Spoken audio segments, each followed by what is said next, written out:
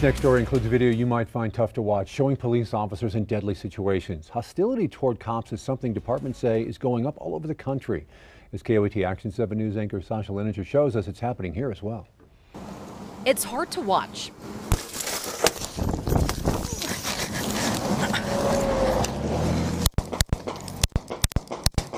But this I've been hit. I've been hit in pursuit. is a reality for cops in New Mexico. We are struggling um, because we are constantly uh, facing public scrutiny. That turned into aggression when we started seeing those unprovoked attacks. State police officer Darian Jarrett shot and killed during a traffic stop in February.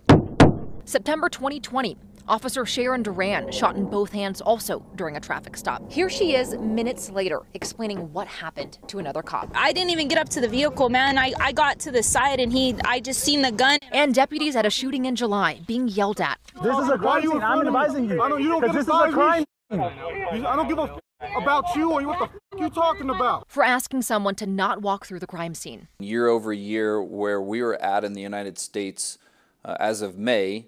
That time last year, we're at a 51% increase in fatal attacks on police. And in July, within a week, two Albuquerque police officers injured after being shot at, the bullets hitting their windshields.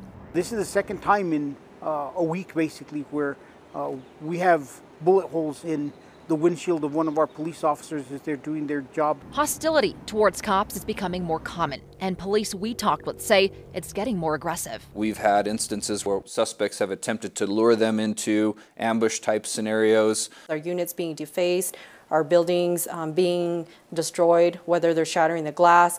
Even when officers are simply going to their units to get something, they're, they're being approached by members of the public and questioning what they do. Officers say they welcome public scrutiny. It comes with the job.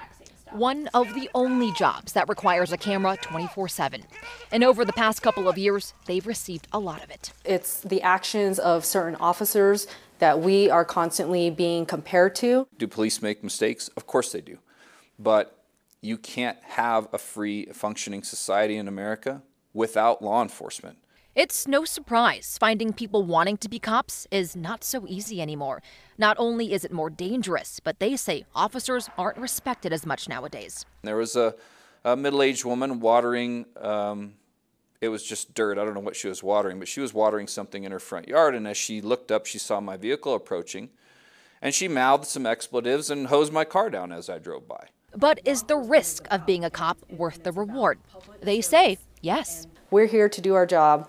We're here to make the make the community safe. And at the end of the day, we want to make sure everybody goes home to their family. And they say you just learn to have thick skin and not to take the hostility personally. Those people are the minority.